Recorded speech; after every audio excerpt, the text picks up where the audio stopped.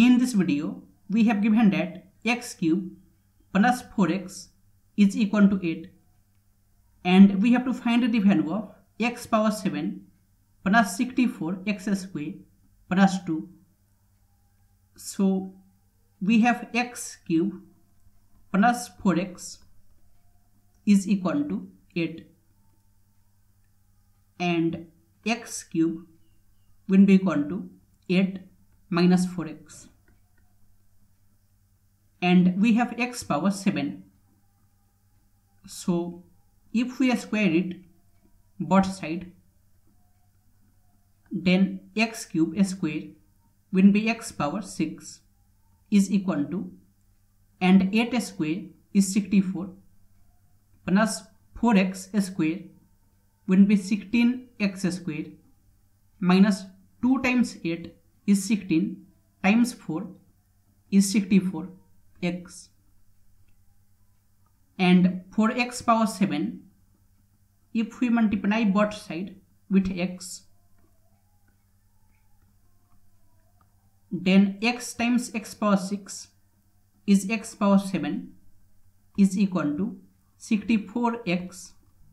plus 16 x cube minus 64 x square. And x power 7 plus 64 x square will be equal to 16 x cube plus 64 x. And we have x power 7 plus 64 x square plus 2 so if we add 2 both side then x power 7 plus 64 x square plus 2 will be equal to 16x cube plus 64x plus 2 and we have given that x cube plus 4x is equal to 8 and if we multiply both side? With 16 then 16 times x cube plus 4x will be equal to 16 times 8 and 16x cube plus 64 x will be equal to 16 times 8